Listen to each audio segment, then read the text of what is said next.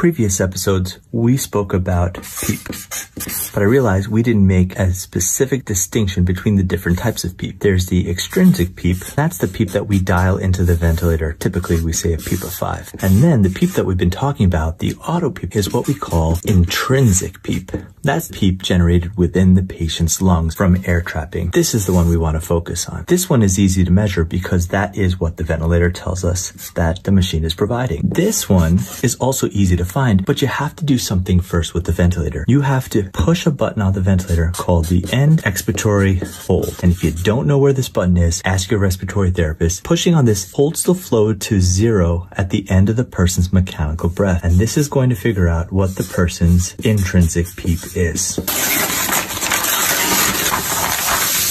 Now, after you find out that the person has intrinsic PEEP, we'd like to get rid of it. We talked about providing more time in expiration or decreasing the inspiratory time. And we can do this by decreasing the respiratory rate, decreasing the I time, or decreasing the tidal volume. Sometimes you'll do all this stuff and it's still not enough. Because when you have a patient that is triggering the mechanical breath, if you have too much auto PEEP, it's going to be very difficult for that patient to spontaneously trigger the breath and it's going to increase their work of breathing. So let's take this patient and let's let's say that their intrinsic PEEP is 15. This person has to pull 15 centimeters of water before they're able to trigger the breath. This is going to be very, very hard for the patient to do. So after you do all these maneuvers and the person still has this much auto PEEP, the next move is increase the person's extrinsic PEEP. Now, most people say you want to increase the PEEP by two thirds the value of your intrinsic PEEP. And by doing this, it's going to make it much easier for the patient to take a spontaneous breath.